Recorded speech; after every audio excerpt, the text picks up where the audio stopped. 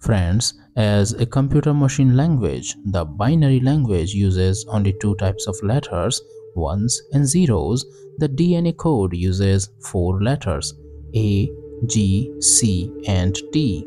These four letters are actually four chemicals named adenine, guanine, cytosine, and thymine.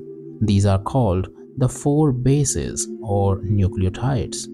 Just like a computer program is a sequence of binary numbers, that is ones and zeros, which instructs the computer what to do, in the same way, all the functions that are taking place inside the cells of the body are controlled by an incredibly complex and extremely long code written in the DNA.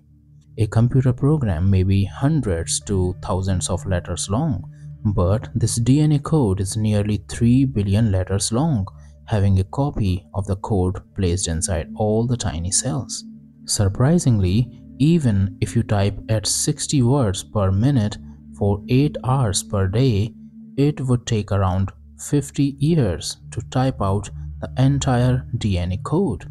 And never forget that this code is not just about length, but also unbelievably complex, which instructs and controls the complicated functions of our body.